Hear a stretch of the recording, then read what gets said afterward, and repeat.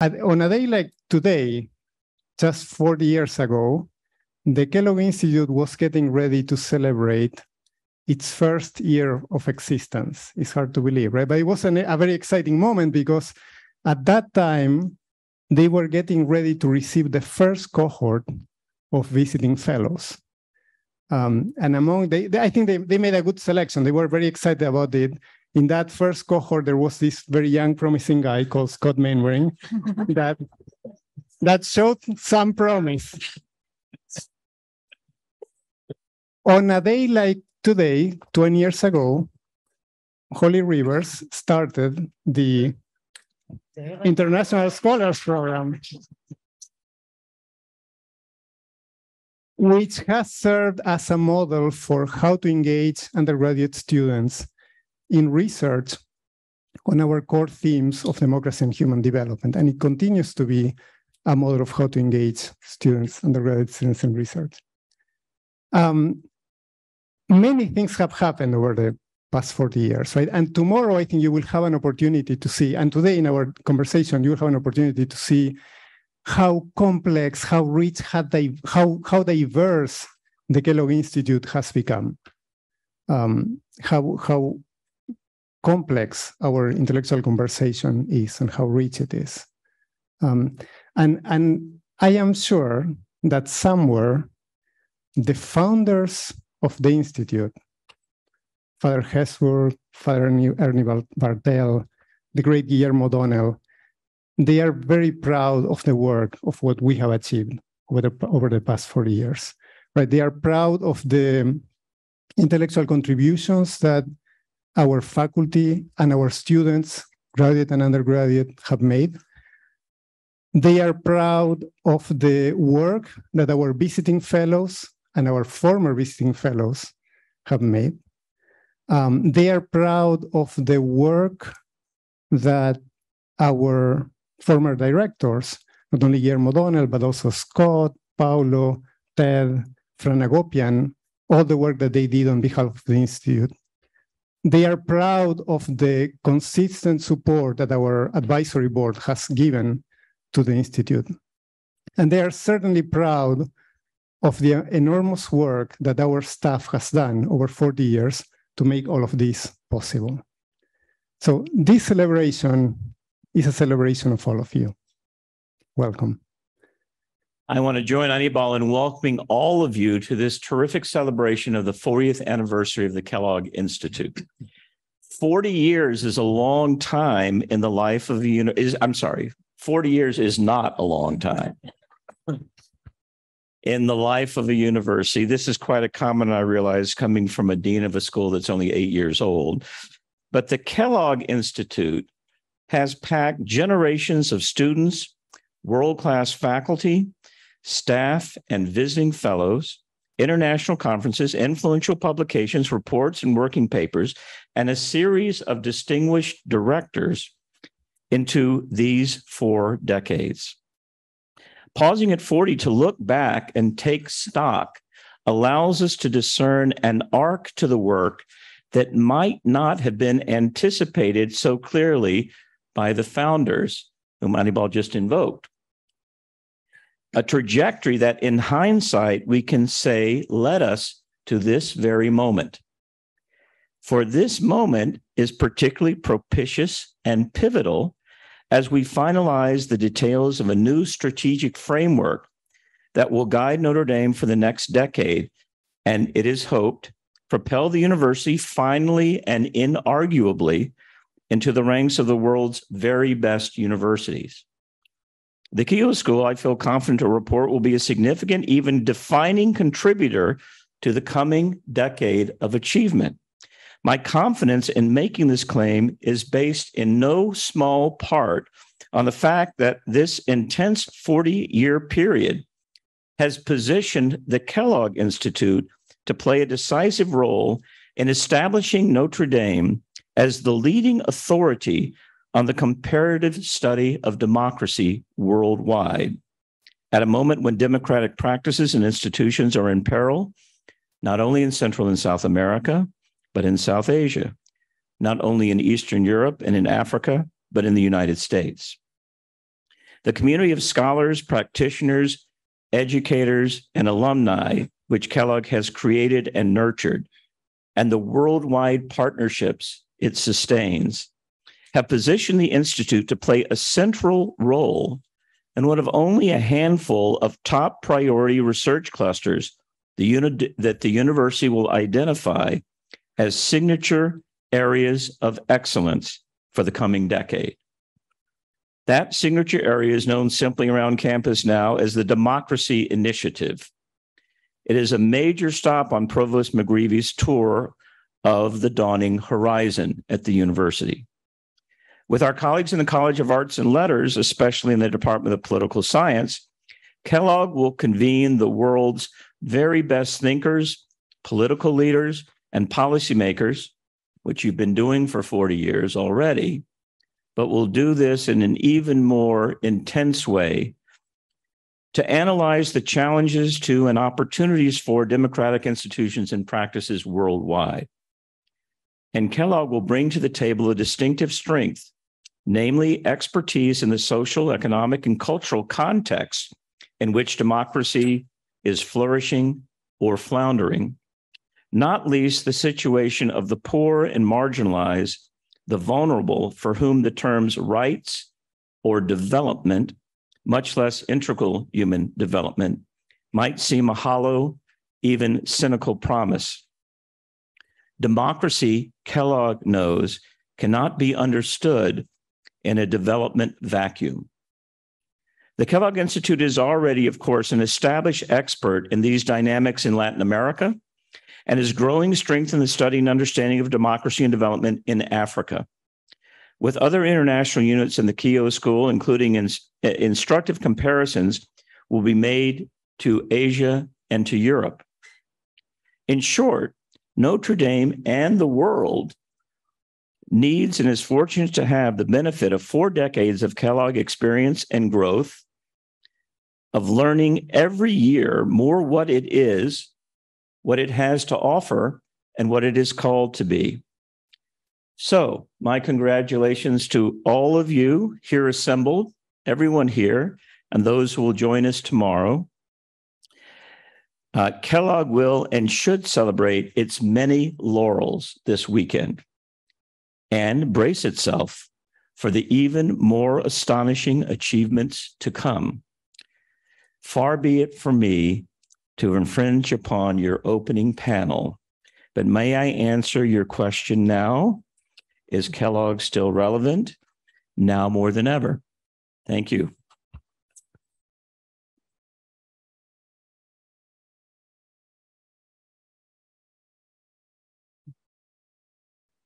And, and now let me thank you, Scott, for the wonderful words. Um, we really appreciate them. Um, and let, now let me introduce a person who needs no introduction, Sharon Schierling. Um, I'm sure all of you know Sharon. Sharon was the managing director of the Kellogg Institute for many years. She arrived to Notre Dame in 1999, and she served as the managing director of the Kellogg Institute until 2020, when she, as she retired to do more fun things, she, if that's even possible, she um, she was awarded the President's Award at the university for her contributions to Dame. Sharon, thank you. Thank you. Let me add my welcome that we've already heard from Anibal and, and Dean Appleby. But I want to say how great it is to see so many familiar faces. Um, some I've seen recently, others it's been a long time. So it's great to see you all here.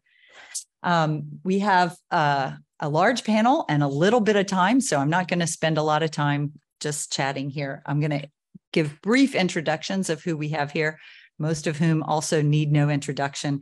But then I'm going to ask them a question that's going to hopefully give more of an introduction to their work.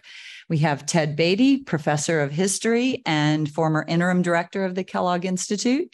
Paolo Carozza, professor of law, former director of the Kellogg Institute. Tracy Kijewski Correa, the Leo E. and Patty Ruth Linbeck Professor of Civil and Environmental Engineering and Earth Sciences and Acting Director of the Pulte Institute for Global Development. Scott Mainwaring, the Eugene P. and Helen Conley Professor of Political Science and former Director of the Kellogg Institute. Anibal, who introduced himself already, current director of the Kellogg Institute, and Rachel Sweet, who's an assistant professor of politics and global affairs here in the Keough School. And so without further ado, I'm going to open with a question and um, we can do this in any order, but maybe just uh, start in alphabetical order from the other end of the table. Ted, that means I'm putting you on the spot first. Um, I, I'd like to ask each of the panelists to tell us briefly how you first became engaged with the Kellogg Institute, how your own research as it relates to Kellogg themes has evolved since then, and where you see your research, research interests moving in the future, in the coming decade. Ted? Thank you, Sharon. Is this on? Folks hear me? Good. Um, thank you, Sharon. Thank you, Anibal. It's a, it's a pleasure to be up here. It's a privilege to be here. It's a privilege to have been uh, associated with the Kellogg Institute for the last 23 years. 24 years ago, I got a phone call late one night from somebody many of you may remember, Chris Welna, who was the executive director of the Kellogg Institute for about 10 years from the late 90s to the late aughts, um, saying that there was a job opening here and that Kellogg was involved. Uh, Scott was chairing a, a search committee. I think Code, I never really understood the landscape history department was a partner in this and uh, there was a position open that I might be interested in. And I said, "Where's Notre Dame?" Uh, I did not, I did not know much about Notre Dame, other than that, yes. Um, I knew about the Kellogg Institute, however. Uh, I had heard about the Kellogg Institute. I'd, I'd read something about its visiting fellows program as graduate students with an interest in Latin America and, and related issues um, know about very widely across the country. Um, and uh, I ended up applying for the job. I ended up, um, I think, being number two in that search process, but number one did not work out. And um, so, somewhere towards the end of June, I got a phone call that there was a job offer on the table, and Scott convinced the key decision maker in my family that um, this was a viable place to live and work. And so 23 years ago, I came here. Um, and it's it's really and so my affiliation with Kellogg goes back to that. My appointment is in the history department. My affiliation with Kellogg goes back to the very beginning of my time here, and um, uh, and I've been here in the building almost ever since. Um, my work is really on the history of development, so it falls in one sense. I'm a historian. I'm a quali- traditional qualitative historian in many ways. Um, but I work on the history of development as something of an economic historian. Uh, and so I, I, I, feel very much at home in the in the atmosphere here, um, and I, you know, having feet on both uh, in the history department and here, I feel very much. Um, yeah, at home in the Kellogg, and I'm grateful that I'm so grateful for the Institute for everything it's done for me, but also to have been a, been able to be part of the program building over the last um, much of the last 20 years here at the school.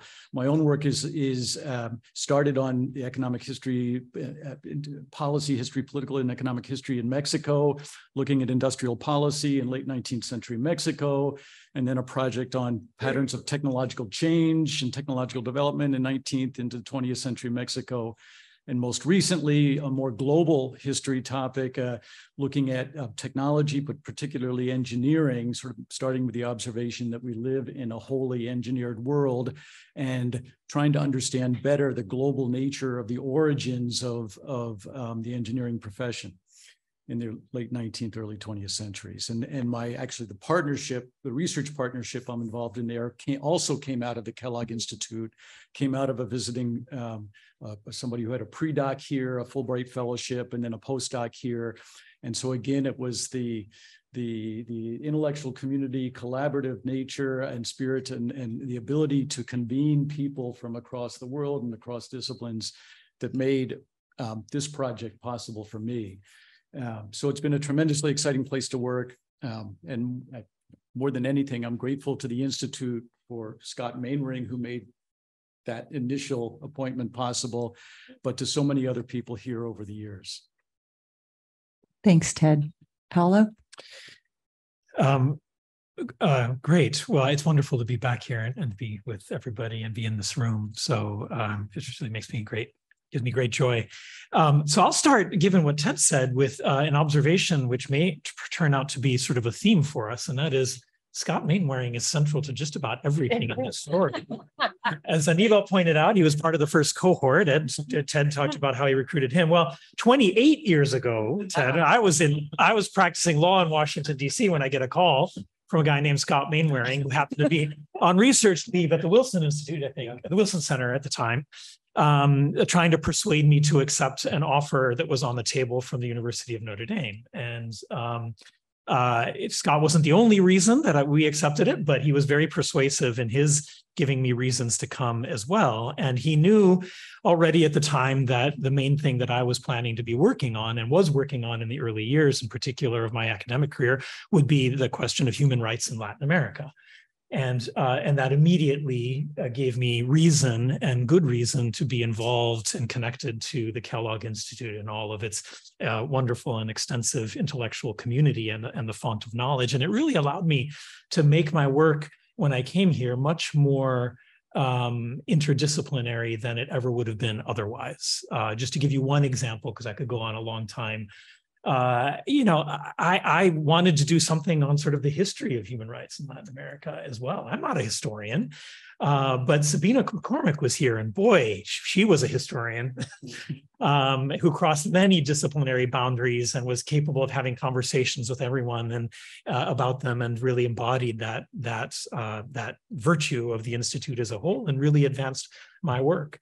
Uh, the more that I was involved, but in particular, once I became director, the, the work evolved into areas um, of uh, not just human rights as such, but the you know more thickly the relationship between human rights and democratic transitions, uh, accountability for the past, uh, the problems of uh, emerging but endemically weak uh, democracies and how they protect human rights and relate to international institutions.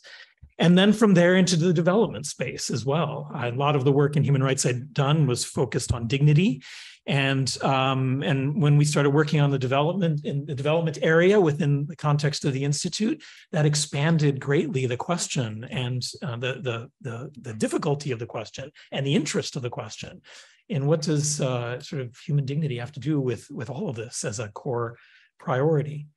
Um, those are all just on the level of subject matter. I'll say very quickly, the research has evolved also in terms of form.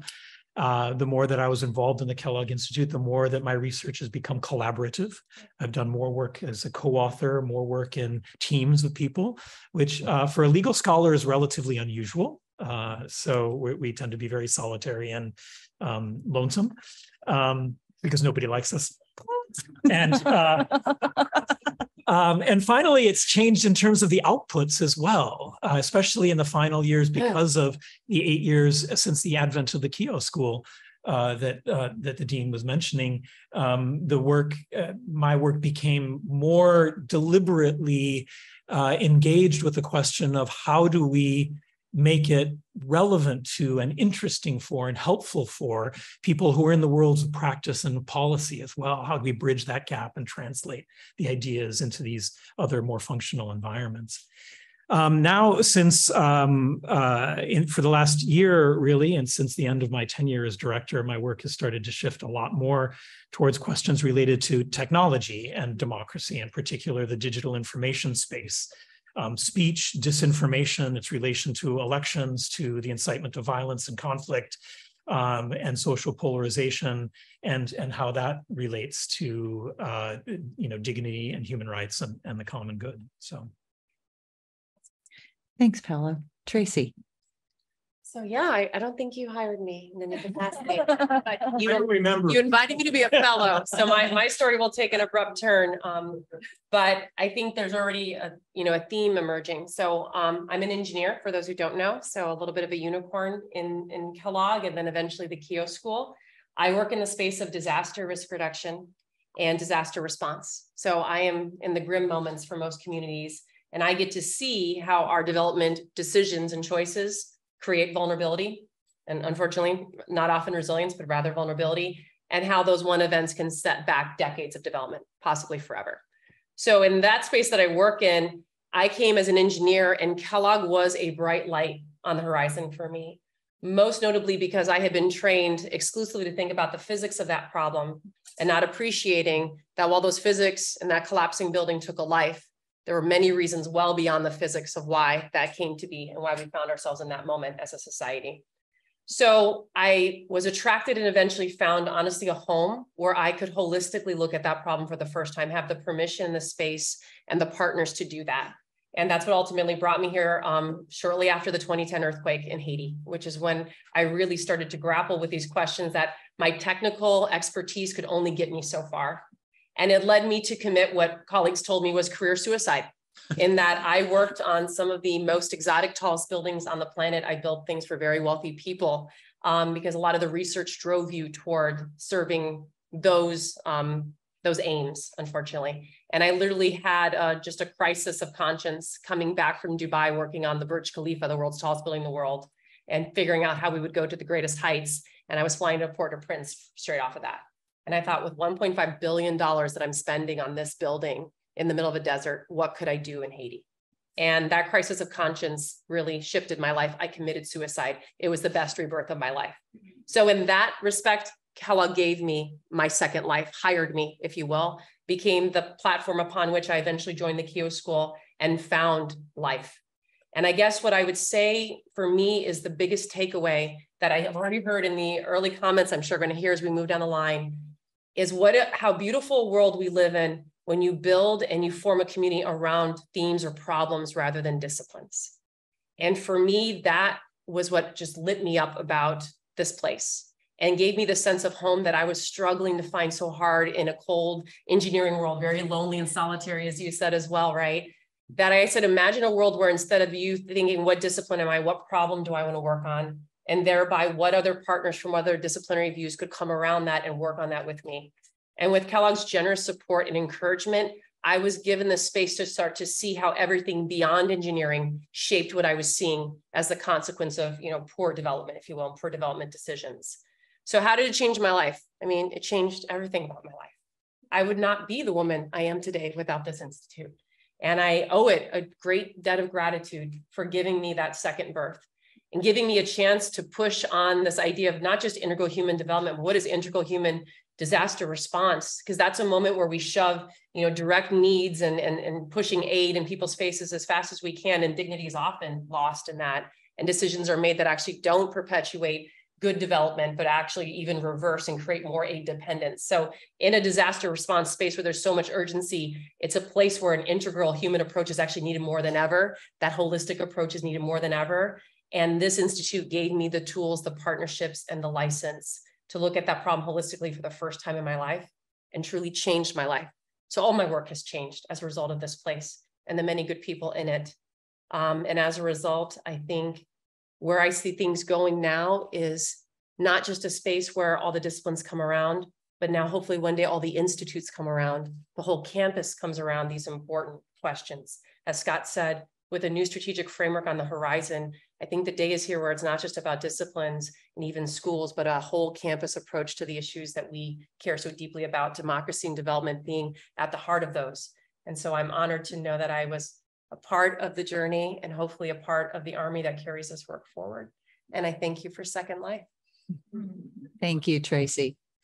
Now we'll move to Gran Jefe Scott. Oh, yes. That's a hard act to follow. Um, how did I first become engaged with Kellogg? I was invited to come as a visiting fellow in 1983 to 84. I thought, yeah, actually, I was invited to come for two years. I thought, yeah, that's a fantastic way to start a career. Little did I know that it's also a fantastic way to continue a career.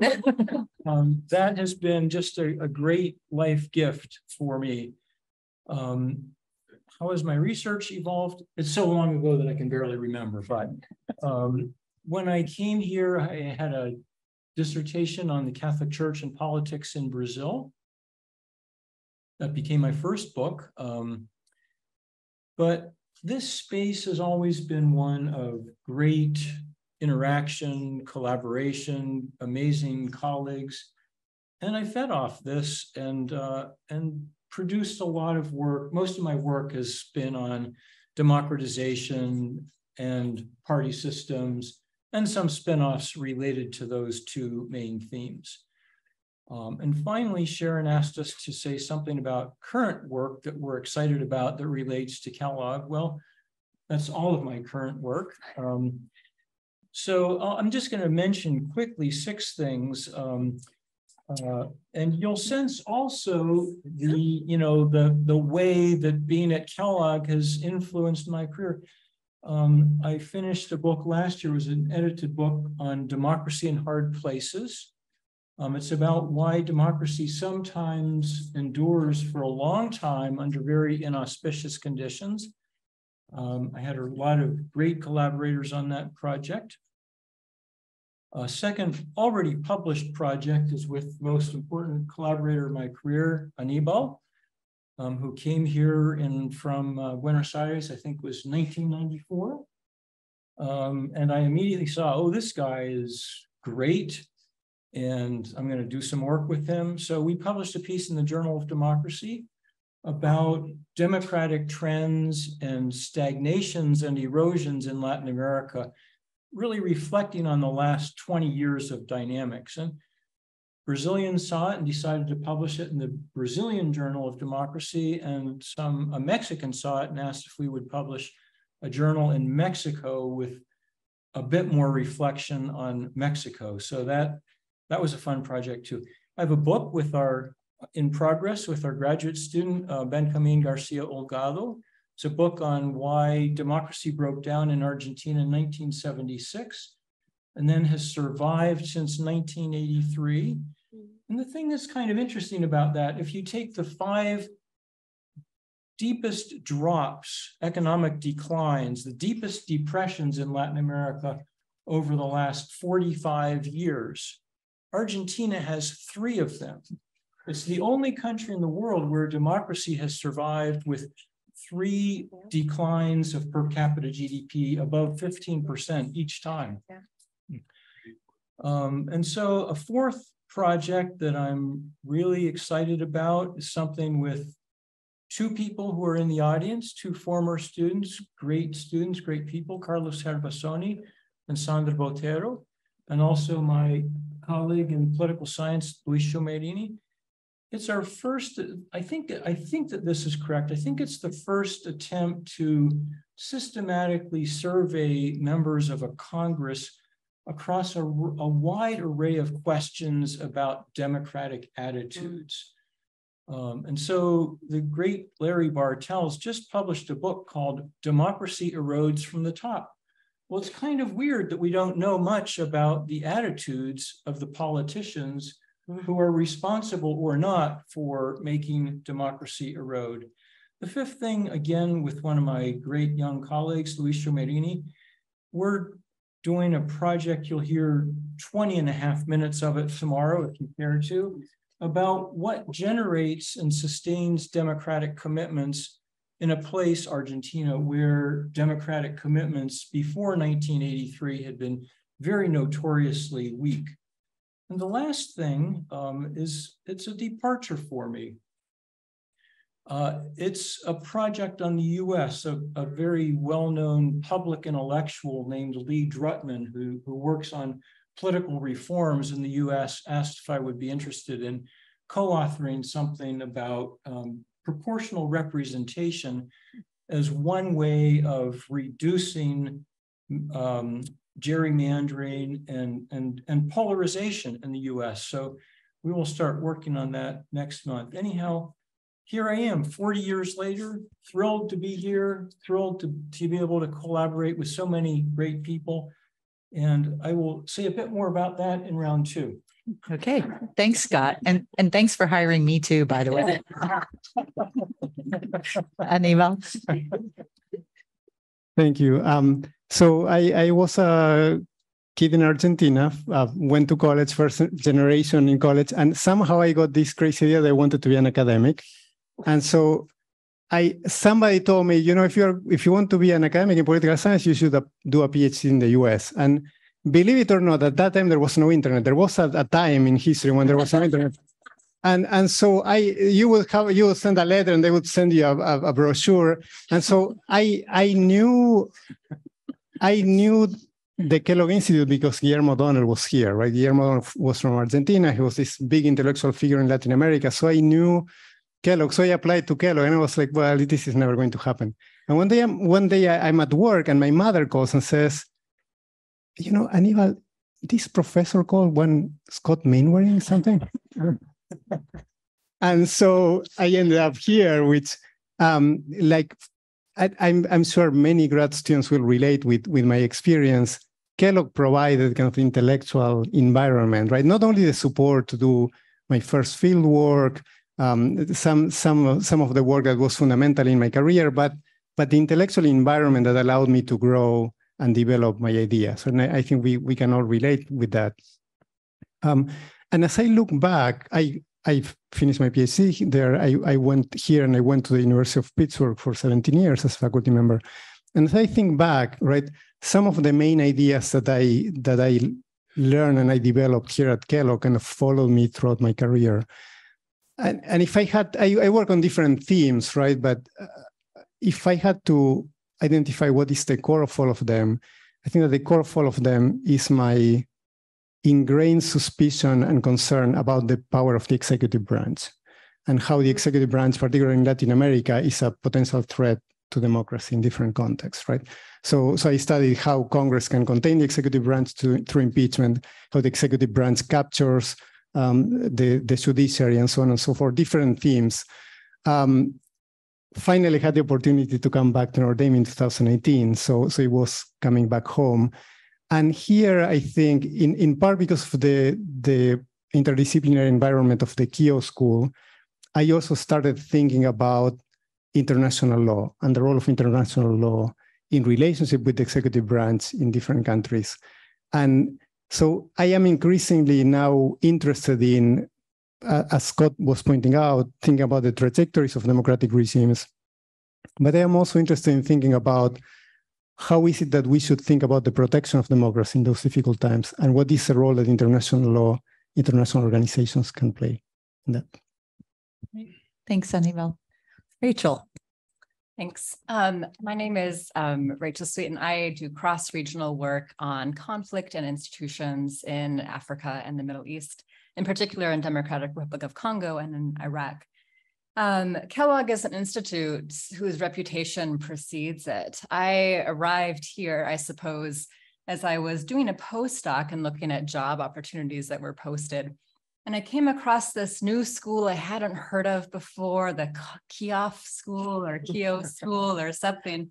Um, and I was thinking, you know, this looks interesting. It's at Notre Dame, um, but I'm not really sure. And a colleague turned to me and said, you know, that's where the Kellogg Institute is. Like they just created this school the Kellogg Institute is a part of. And I said, I'm applying to that. Um, so Kellogg is very much at the heart of why I'm here. And it's the heart of why I'm here because for the questions that I ask about armed conflict and violence, these are not just theoretical questions that can be contained within an academic discipline. Violence is real and it's in people's lives and it's dirty and it's tangible.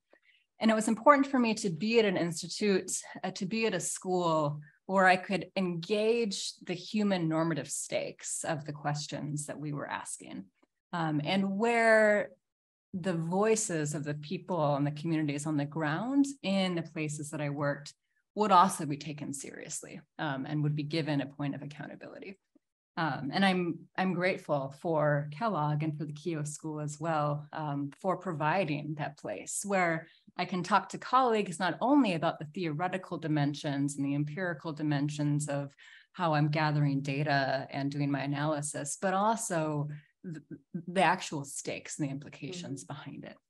Um, so that's what brought me here. Um, my work, so I am in my fourth year here, so I am um, brand new compared to a 40 year long um, career here. However, even within those few years, um, Kellogg has changed or has contributed to a change or a growth in my trajectory. When I came, I was um, only focusing at that point on questions of um, armed group organization and state institutions in Congo. And Kellogg has been a great help for me with that in terms of um, RAs um, who can help me code my 40,000 pages of bureaucratic documents that rebels wrote um, and for my book project, um, but has also been a lot of the energy and support and enthusiasm behind the recent cross-regional move that I've made up into Iraq as well. Um, with the support of Kellogg, I was able to, I've been able to go to Iraq a few times now. Um, with the support of Kellogg, I've been able to start learning Arabic and developing um, on the ground collaborations with Iraqi researchers. Um, and through those collaborations, um, we've been able to do some cross-regional work in training local communities in questions of human rights documentation. So when a violent event breaks out in their community, um, how that event is described, if it is even captured at all in things like our main data sets or news reporting, is oftentimes like misdescribed. And that gap can be quite dramatic um, and has really large implications for impunity and identifying the wrong perpetrators. So Kellogg is helping to sponsor a, a cross-regional project between Iraq and Congo to provide human rights documentation training to the communities who witness violence themselves so that their voices can be the one to tell the story. Um, in addition, through those collaborations, um, these new collaborations with researchers um, in, in Iraq, I was able to spend time and get to know um, these people who are now my new colleagues and to ask them for the first time, if you were to do your own project about the place that you live in and are from, what would you want to do? Mm-hmm. Um, because of like Kellogg's approach and flexibility. And so now I have my Iraqi collaborators come to me and say, Hey, Rachel, I just got like a collection of like government militia contracts in the public sector. Can we do anything with this? Um, or, Hey, Rachel, like I just recovered a trove of ISIS documents. Can we do anything with this? Um, and so this is this is feeding into a number of different projects on the nature of um, the evolution of violence, the evolution of state institutions and governance cross-regionally. Um, it's giving us new insight into some state-backed militias within Iraq and how they're organizing within the public financing sphere and bureaucracy. Um, and most recently, Kellogg has also contributed to a project on digital armies. So mm-hmm. looking at how um, militias also have an armed wing online. So trying to understand some of these digital disinformation campaigns that are meant to influence public opinion, meant to influence electoral politics in Iraq, um, and to take a look at some of the like back end supply chains of violence and how they organize in um, on Telegram and, and Twitter. Um, so Kellogg has really contributed to a, a, um, a growth and expansion um, in my um, in this direction already. Um, and it's providing some new theoretical insights into the gap between what is immediately visible about conflict and this like more invisible but realistic terrain of violence. Um, it's provided access to new information sources that I wouldn't have known existed um, a few years ago, like these militia contracts. Um, and it's also allowed for um, deepening community engagement. These projects are locally driven. They're um, through collaborators, not just at Kellogg, but also on the ground in communities um, in Congo and in Iraq, and are able to draw on some of the questions, observations, knowledge, and expertise of people who themselves um, didn't have opportunities for formal education. So we're doing this collaborative work cross-regionally um, in large part um, thanks to thanks to Kellogg. Thanks, Rachel. Well, I think by these uh, very diverse research agendas, you can see how a variety of research interests come together to advance Kellogg themes. And I hope that Scott Appleby is right in saying the answer to the question of this panel is Kellogg relevant going forward is yes but we want a little more detail on that so i'm going to ask each of the the panelists how might we as Kellogg as a collective community of scholars, not just a group of individual scholars, but how might we work together to ensure that our research remains relevant for the next decade and beyond? And I'll let anybody who wants to address that one rather than going down the line. I'll jump in maybe quickly and say something briefly. Jump Just in, make Ted. Three quick points. Okay. Um, there's all sorts of great answers to that question, I think, and I think you'll hear, we'll probably hear a number of them here, but my three points are these. Um, one point that has not been, uh, one of Kellogg's great attributes that has not been highlighted so far is its uh, its role as an educational institution uh, here within the University of Notre Dame and the role it plays in educating, supporting undergraduates, master's students, and doctoral students. We've heard a bit about the doctoral students, uh, those who have been here as doctoral students and collaboration with doctoral work. That's probably the, the part of Kellogg's work as an educational unit um, that has the long, deepest history. Uh, but the undergraduate programs that are, are, have- been here almost as long as the Institute, but that have really grown, deepened, and widened over the last 20 years, primarily under the leadership of Holly Rivers. Um, tho- those are the, the range of those, the diversity of those, the quality of those is something that is, is ensures Kellogg's continued relevance at the University of Notre Dame and relevance in the lives of the students who participate in those. And that's, um, that's, that's no small thing. That's in some ways one of the deepest, I think, most meaningful impacts that Kellogg has. Focus on research, focus on, but focus on engaging students with faculty, with projects, with thematic issues, um, pulling them outside of their departments, their majors or disciplines.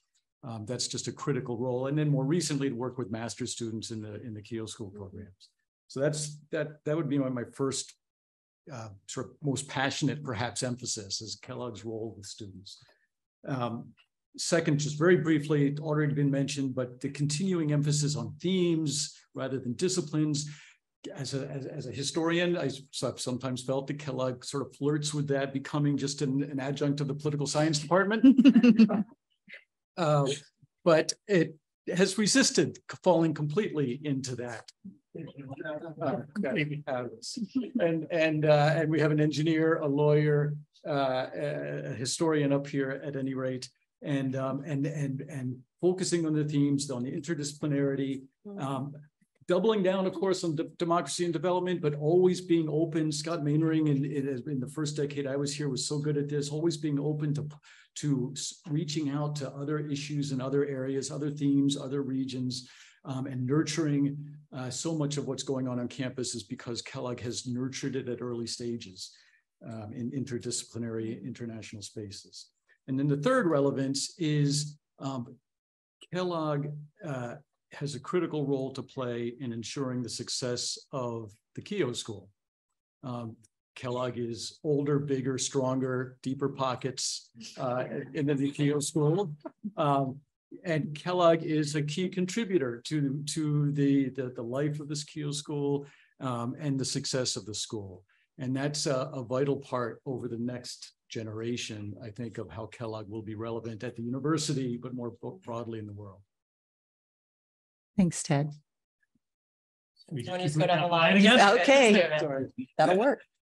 Um, so I, I guess I'd, I'd say take a slightly, oh, this all, I agree with everything that, that Ted said, but I'm going to emphasize a slightly different aspect of it. And that is that um, an institution is, is only relevant insofar as the, the, the people who compose it are working on things that are interesting and relevant and working together. And it's the character of the human beings in the community more than the particular topics, right? Um, and and that that has been really the core of the Kellogg Institute from the start. Is the is the unique community of human beings that it assembles, um, and that is the only uh, absolutely necessary condition for its continued relevance in the future. That it continues to bring together people who share their ideas, who are intensely interested in the reality that they're studying and in its relevance, who who you know fertilize this ground with their scholarship uh, and work together and are open to one another. That there's an ideal of intellectual friendship here that transcends ideology and is fu- fundamentally interested on an engagement with a, a human reality in all its forms. And that brings in, you know, the, the, the critically important work that Kellogg has done in forming undergraduates, in forming graduate students, in recruiting visiting fellows and other visitors here uh, over the years, in, uh, in, in recruiting faculty members on a permanent basis here uh, as well. It is, first of all, a human community and a form of friendship, and otherwise it's not relevant in any way, no matter what else is being done. Um, and then the second thing I would say, and final thing, is that um, has, has been has been an undercurrent, I think, in a lot of the comments that we've heard already, is that uh, all of the research here, no matter, you know, I shouldn't say no matter, um, on top of being technically outstanding, uh, academically rigorous, and innovative, it it has a human dimension to it. Mm-hmm. Uh, and if Kellogg ever loses uh, that human dimension of what it's about, it will not be relevant. But again, like the, the existence of a form of friendship that is at its core, the, the, existence and commitment to a fundamental sort of human, keeping that human dimension at the front and center of everything that we do, no matter what the disciplines are, no matter what the particular topics, no matter what the problems are as they evolve, it will, it will maintain rele relevance and it'll continue to be impactful as being a, a, rich, integrated human community that is oriented towards fundamentally human problems. Yeah. I think that was the perfect segue because the word human was repeated. Uh, I don't know how many times in the closing there, but I think that is exactly where my mind was drifting when I when I got this question prompt and I was percolating on it. And I think that as we thought, talk about that bringing together um, of a community committed to doing this work together. I guess my call would be that in our next 40 years, we make sure that community continues to expand to bring those closest to the problems on the ground into that community to do the research with us. I think so often we do the work from afar, and many of us strive to get as close as we can but the solution lies with those closest to the problem. They have a unique voice and experience that when it shapes and defines our research, and I often say at day zero, engineers in particular are terrible about doing research and then shoving it on a community, right? Because we, we don't talk to humans well. Um, but bringing a community, imagine the world where a community is with you on day zero to frame the questions you're asking, the problems to be solved, the constraints around it, so that you are then pursuing a line of inquiry that's informed by the true essence of the problem to be solved, the challenge faced on the ground from a deep knowing of what that looks like, it would shape your agenda in a completely different way. It would ensure that agenda is relevant and that that work can translate and have impact. But it only happens when at day zero, that work is framed that way.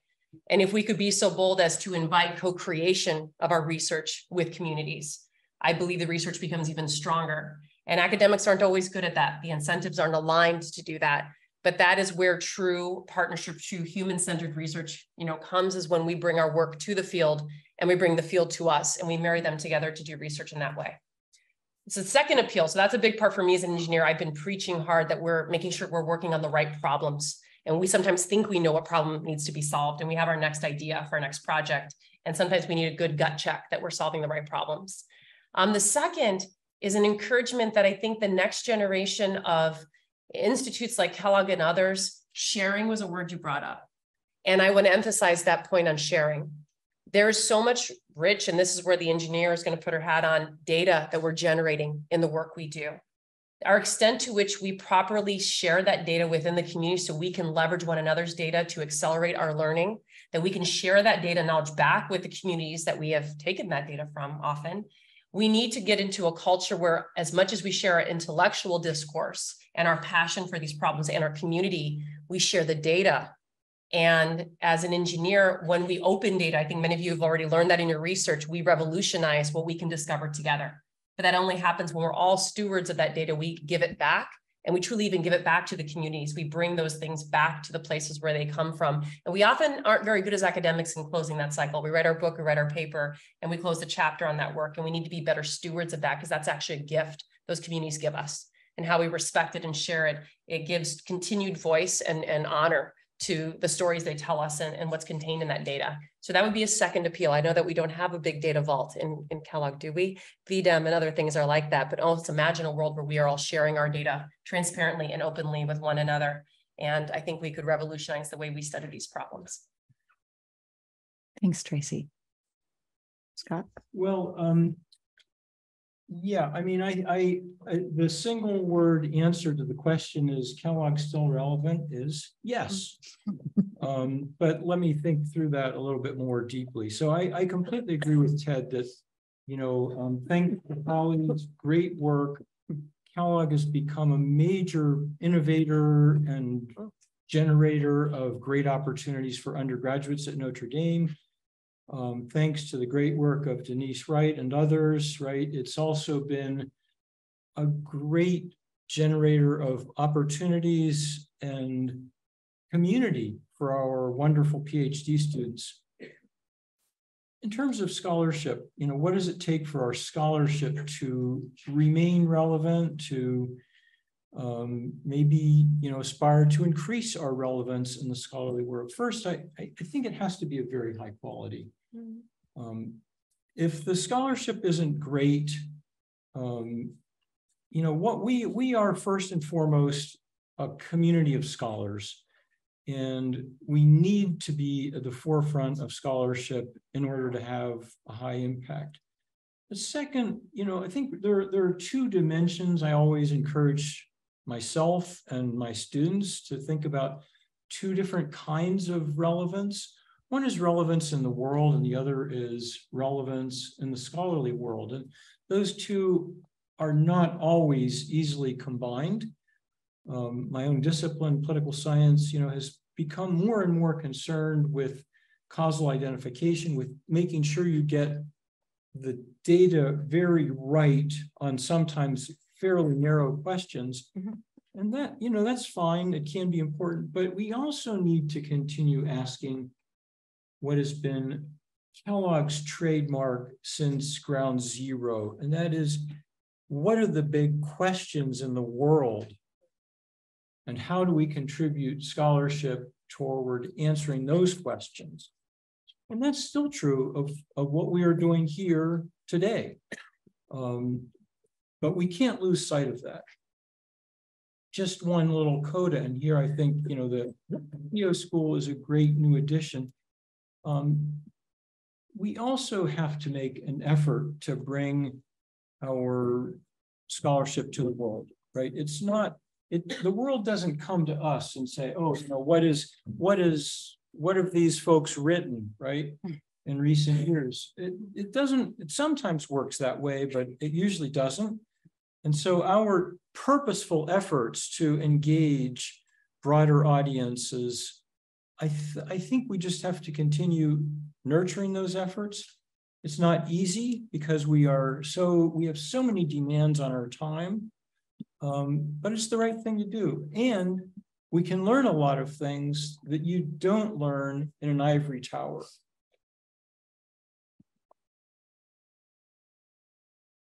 Let me uh, just build on what Scott was saying. I, I think that not only Kellogg is relevant at 40, my sense is that is today is more relevant than ever in, at, at some level, right? Because if you look at the founding generation of Kellogg, right, the generation that set the intellectual trajectory of Kellogg early on, and Scott is here, I can see Samuel Valenzuela in our audience, right? This, this was a generation that articulated a, an intellectual project in which there is a, the principle of high quality research, as Scott was pointing out, but also the idea that the institute and the, the community of the institute had, has to address the, the great problems of the day, right? 40 years ago, some of the great problems of the day were, some of them were very similar to the ones we have today, right? How do we create development? How we reduce inequality? But some of the problems were how do we move from dictatorships into democracy? And, and today, some of the some of the problems remain the same, and some of the problems have, have changed, right? Today, we worry very much about how do we prevent democracies from going backsliding into dictatorship. Um, but still, the, the mission of thinking very seriously and very rigorously about the great problems of the day is, is what we do, is, a, is our mission. I think this is closely related to the Catholic mission of the university, the idea that we must do research that matters, that we must do research that benefits and is in connection with the communities we work on with, as, as uh, Tracy was pointing out. And I would just say that to, to keep this moving forward, um, I want to emphasize two things that have been already mentioned, right? The first one is the issue of community. Whenever you ask people about Kellogg, the first thing that comes up into the conversation is, oh, you have a great community. And that seems to be a defining element of how people from different different disciplines different trajectories, different perspectives really integrate very well into, into an intellectual community. Um, and the other thing that I think Scott mentioned is I think we need to be very proactive in reaching out to the world um, to explain what we are doing and to share our results with what what we are doing to make a to make a contribution to the to the largest uh, world. And I think in that sense, um, being part of the of the Keough School of Global Affairs is a great opportunity for the institute. Um, thank you. I think that um, we would be remiss on a question about looking forward to the future of Kellogg um, without um, also acknowledging some of the youngest members of this community who are our undergrads. Um, I've had the opportunity to work with several um, Kellogg ISP students, at least one of whom is here um, today, and I have really been deeply impressed um, with the way that um, these students come to the table asking big questions, relevant questions, um, asking questions to do with, with conflict in institutions and global health and development. Um, and also have really a hunger of wanting to know what is the most relevant way of approaching this program um, so that we can be participating in these questions with the communities that are asking them around the world. Um, so I would just um, want to acknowledge um, our youngest members of the community also here. I think that they're mm-hmm. really integral um, and are integral also in carrying that torch forward into the future as well and bringing the vision of Kellogg to wherever they'll go, whether it's study abroads, um, other PhD programs, or career paths.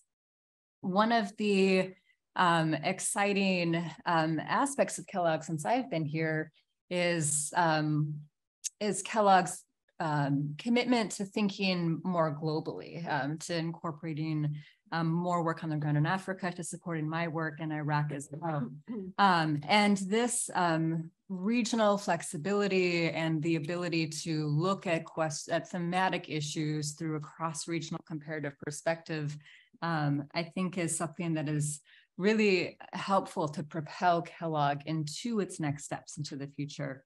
Um, at the same time, um, um, Tracy, building on your like questions around how do we listen deeply to invite and to co-create research with communities around the world i think there's also some invitations around what that collaboration and partnership process might look like and in particular i wonder about the role that Kellogg can play as an institutional lever to fill a gap between um, the questions that communities are asking and these academic spaces um, and the policy mm-hmm. spaces and practitioner spaces.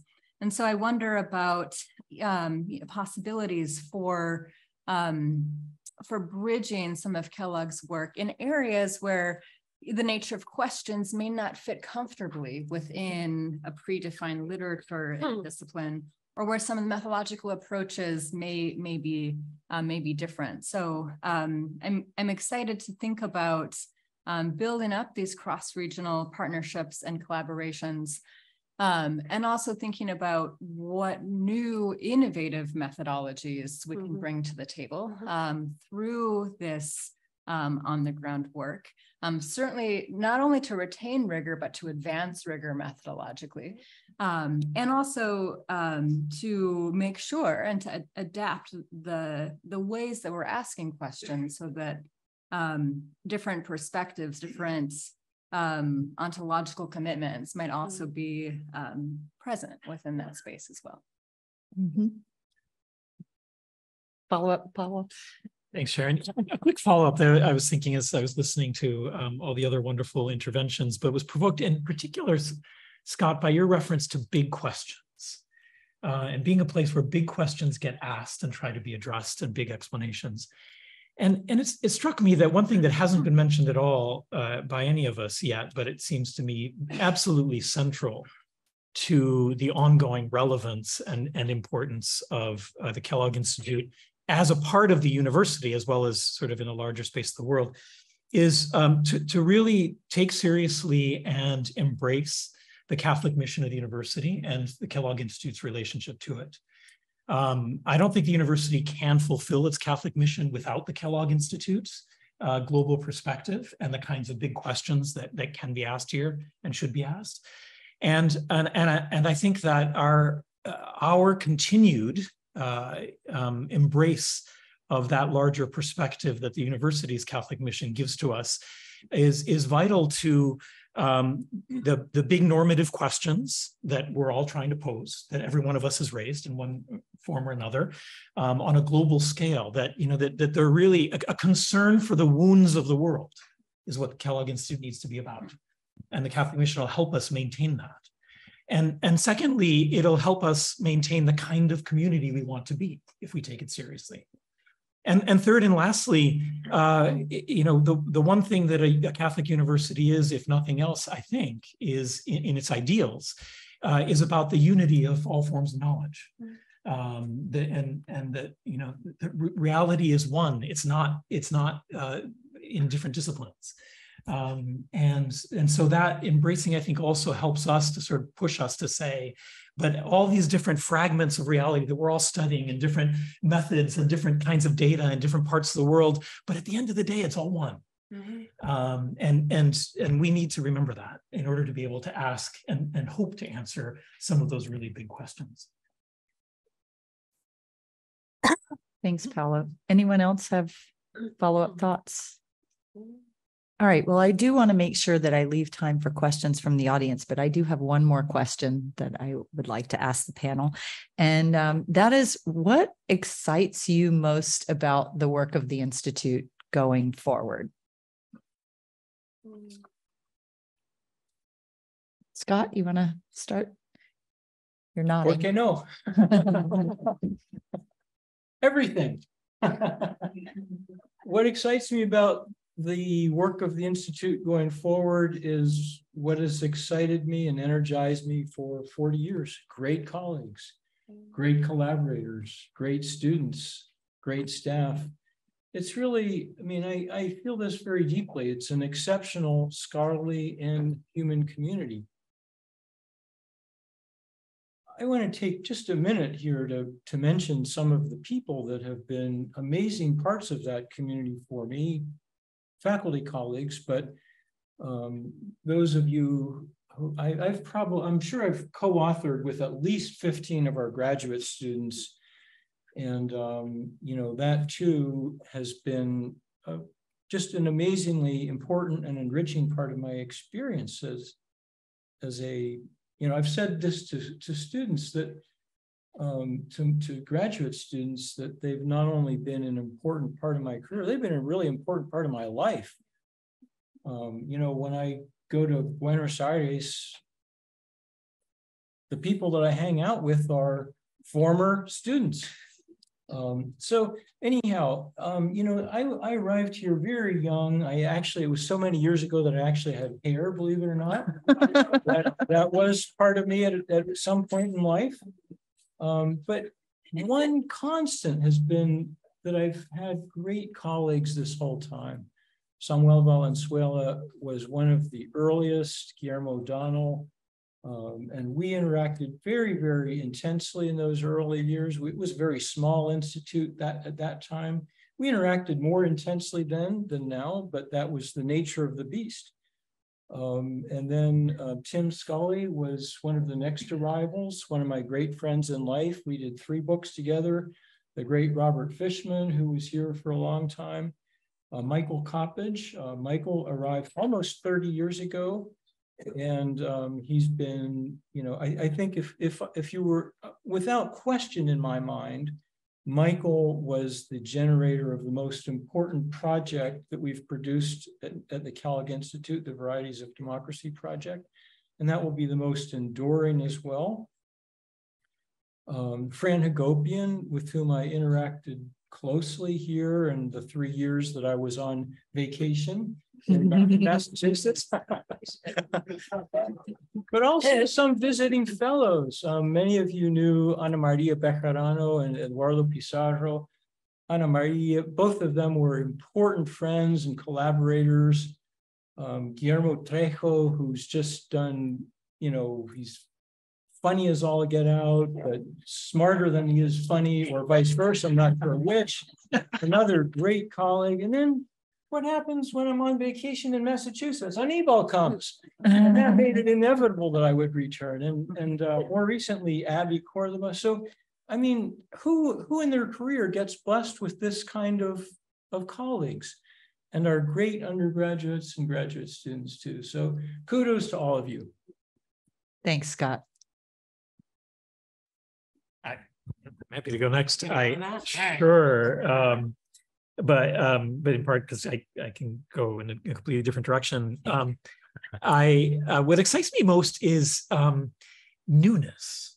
I would hmm. say if I had to put it in one word, right? I, you know, over three decades into an academic career, it, it, it's really easy to like just be thinking about the same ideas and working on the same things and publishing the same kinds of stuff and I, there's you know uh, we all don't we all desire for life to be new right all the time?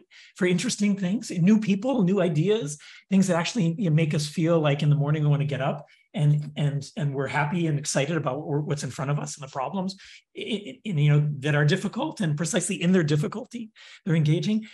The kellogg institute does that for me because the people are always new and they're always bringing new ideas relevant ones and at the same time, though, it's not novelty for novelty's sake.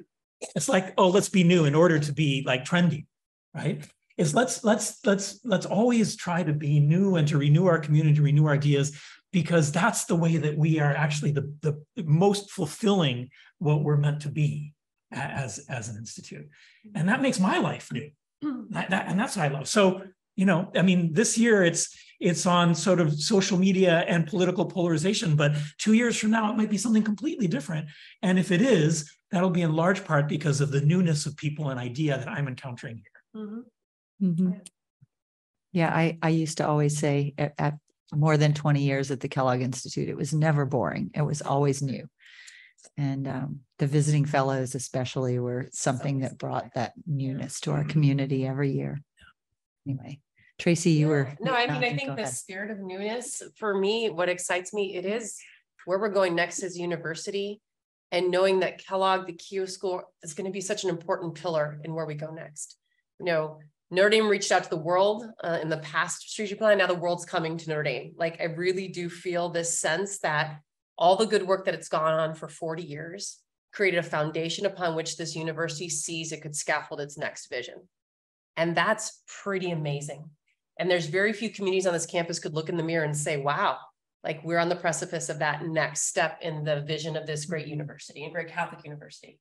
And having us not be apologetic about our mission and who we are as a university and seeing its most valuable treasures now and saying, let's build a vision around those and set the next 10 years on that course. That for me is exceptionally exciting. And I know that, you know, the roadshow is starting to go out with the strategic plan and the provost will make his rounds to various units on campus. But I was genuinely excited by what I heard and the pillars I can see them building the vision for the next 10 years of this university. And I think we're on the cusp of greatness. And it's a great testament to what's been built in the community. At the heart of it, the people that are here and have been through four decades of this place have been the reason with all the rigor, yet the heart combined have really made it something that the university now sees it can bet on. And I think that's an exceptional testament to everything that's been built here. Thank you. Ed, Anibal? I, I just want to say that if you if you go outside after this this session and you will you will see this wonderful timeline that mm -hmm. some of our colleagues invested a lot of time and and his historical effort in building, recovering the, the history of the Institute. It's a fantastic timeline. And when you look at that, you realize the intellectual legacy that the Kellogg Institute has produced, right? The faculty, the students, the visiting fellows. And for me, what is exciting about the, the Institute is just the end of the timeline, right? What comes next in a moment in which clearly, as I said before, it seems that our contribution is, is more important than ever. And as Tracy pointed out, it's our opportunity to continue playing a role, a fundamental role in not only in addressing these fundamental problems of our times, but also in contributing to make Notre Dame a major research university that is a Catholic university. Mm-hmm. Rachel. Um, I, I would just say that as I'm um, listening to all of your reflections, I also just enjoy learning a lot about Kellogg. Uh, Kellogg is a great uh, place to be um, a new faculty member and, and an early stage in a career. Um, and what, what excites me most is um, hearing about the the foundational commitment to both the rigor and the big questions and the human stakes, all of those three things together um, and the growth into the future. Um, excited about the cross regional growth, the thematic growth, um, and the growing communities here as well. So, Mhm. Ed? Just briefly, Scott and Scott and Paolo can can can uh, empathize with this, or I think probably have felt this in various forms. It's the it it connects with newness. It connects with the rebirth that that that Tracy talked about earlier. And and I'll wrap around quickly to a point Rachel made earlier, but that's coming off of eight years or so of fairly um, intense administrative work, feeling like um, there's a, there's there's new life ahead, and that, there- there's that that new life is in this terrific community that you've heard so much about. Um, the I think that you know if I what there's quite a number of things that Paolo said the newness, the looking ahead at at the potential is tremendously exciting. Um, and I'm excited about much of it. But one thing I would just really highlight it that a number of people have mentioned, Rachel perhaps per, most particularly, is working with undergraduates, teaching, thinking about classes, thinking about um, about redesigning courses for undergraduates in a way that gets me to think about ideas in new ways and that takes advantage of the the the the, the intellectual life that this this place really um, inculcates in, in faculty and graduate students and in undergraduates, and that's an exciting prospect. All right. Thanks, everyone. I did want to leave time for questions at the end, and we have just a little more than 10 minutes left. So if anyone in the audience would like to ask questions of our panelists, Clemens. We need a microphone. Somebody. Thanks, Denise. Thank you so much. Thank you.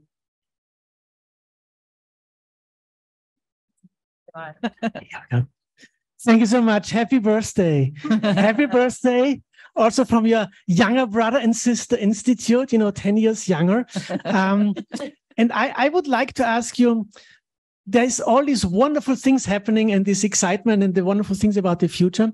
Um, we are now part of, of a family where you have adopted siblings and and uh, we might want to think about how we can work together you know with the sister institutes uh, in a Keough School and beyond and think about the kellogg as part of a landscape where you have other you know partners who would be excited to work with with kellogg and the wonderful colleagues and the topics and any insights on that would be greatly appreciated happy birthday Great question, Clemens. Thanks.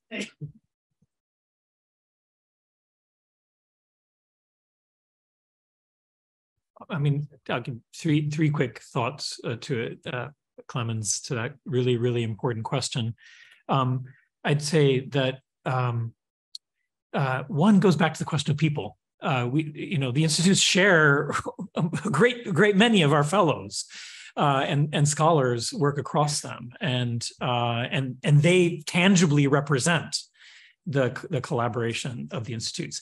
Um, and the second thought is that, um, you know, although we, we have tended just for historical reasons to define the institute's respective identities and uh, scope and mandates in thematic or subject matter terms, they also have different characters institutionally as a kind of institution, the kinds of things that they focus on, right?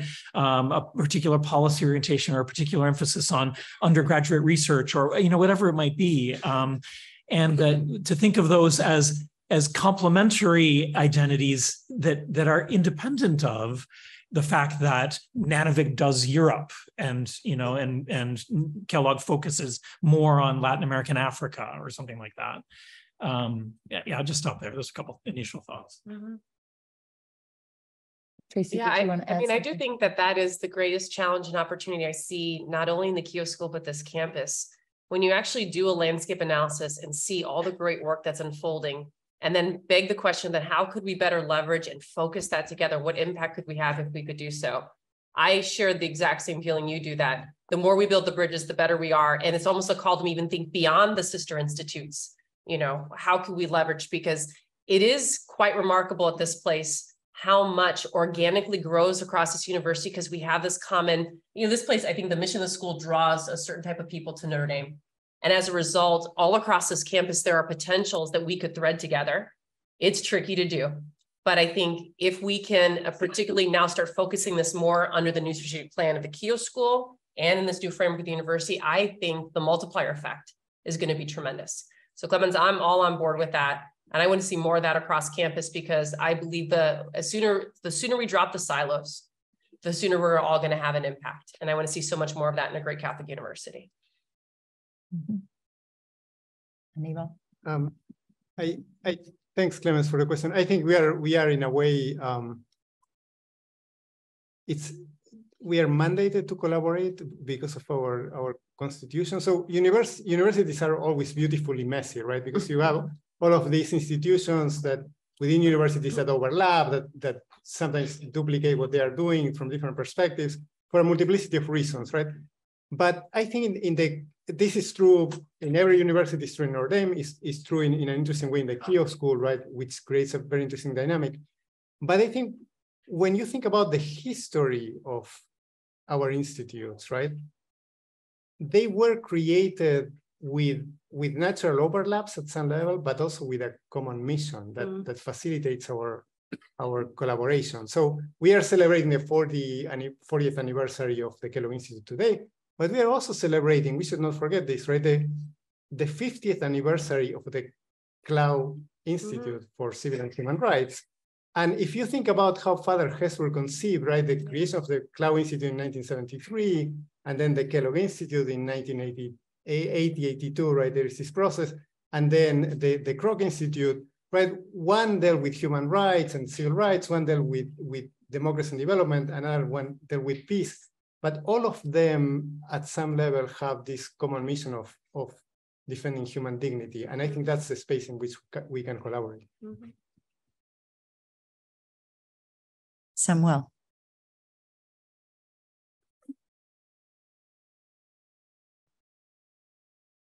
I'd like to emphasize the fact that, well, my work and the work of all of our, my colleagues, I know stems profoundly from my and their values.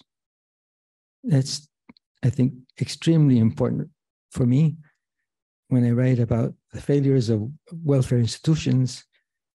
I want to make sure that that has an, has an impact. When I write about um, the ways certain countries have solved conflicts in the past, I want to make sure that that produces lessons for the future. But I want to make sure that all of this is written in such a way that you don't really see the values that are behind it. That everything is written with the highest quality of scholarship. And that is the essential key to having a great institute. It's the quality of the scholarship. And I know I'm repeating something that has been said before, but there are some things that are worth repeating. All right. And I'm sorry, I don't remember your name. Bright. I recognized you, but I couldn't remember your name. And I should have remembered it because you are bright. bright. Thank you so much for the panel. I really learned a lot. So my question, I'm interested in what are some of the challenges that Kellogg has faced over its course of 40 years and how has the Institute overcome those challenges? Thank you. He's on Thank this one. Go. Go ahead, Scott. Well, I think it's a really interesting question. I mean, one challenge is how you build on strengths, but do new things, mm-hmm. right? Um, because you want to do both. Um, if you don't do new things, as endowments grow, there's something really wrong with your create creativity and with your resource utilization. Um, so that that is central. Uh, you know, then there are leadership succession issues, um, like in every, every institute, right, you need good leadership if you're gonna meet new challenges. Um, I think, um, the, how we integrated into the Keough School, right? I mean, that was a big opportunity, but also a non-trivial challenge. We were used to going off and just, you know, figuring out our own priorities. And now under Paolo's leadership, there was the challenge of figuring out how to fold Kellogg into a big new important campus initiative. I mean, those are those are some of the things. You know, there there are of course many other challenges, but those are just three to to begin the conversation. Small ones. Paolo, you wanted to add to that? Um, yeah, I was going to highlight the Keough School, but Scott already did that. Um, the one thing that I would add perhaps is um, a perennial challenge, uh, something that I think will be recurrent throughout, or I hope will be recurrent throughout the life of the Kellogg Institute for many more decades, because it's a sign actually of health, is the challenge of the tension between depth and breadth of the work. Um, and, and you've seen that throughout the entire 40 year history of the Kellogg Institute, you know, expanding in various ways, contracting, but going in order to go deeper in particular issues and other times and ways. And, and that's good. It's a, I think that's, a, as I said, I think that's a healthy dynamic um, that, that ensures a certain kind of growth and a certain kind of self-critical reflection about where we are at any given point. But it, but it's often not easy to manage um, because people have different interests and different priorities and different passions, and and some of them, you know, want to go down, and some of them going to go out, and uh, and so it's it's something that always has to be attended to. I think. Mhm. That's, I mean, that's a very good point, right? Sometimes if you want to have impact, you might have to be more strategic in what you invest in and how you build critical mass. And that inevitably causes you to prune back. And those are al- always painful moments. I think that's the burden a lot of leaders face is trying to figure out the judicious way to direct those resources to have the maximum impact while still maintaining a community where everyone can find a home and value. And that's tough in, a- in something like Kellogg, as big as it is and also as diverse as it is. And I think that's a dual challenge. Mm-hmm. But also, if I may add, because in, in any university, some of the, the great innovation, the great ideas come from the faculty and the students, mm-hmm. right? So all the time we need to be open to these new, new ideas that are coming up and they sometimes redefine priorities for an mm-hmm. institute because it's, a it's, it's fantastic ideas that, that move the, Yep. our scholarship forward. Well, we are just about out of time, but we might have time for one more question if there's anyone out there. Did I miss someone?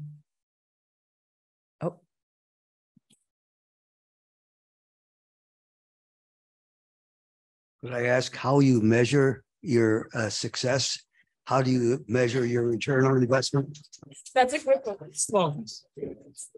That sounds, that sounds like an advisory board question. well, Anibal, that, that, Anibal, that that's question you're- is only for you. Yeah, I, I, I think that one's yours, Annie. So uh, we're done measuring our success.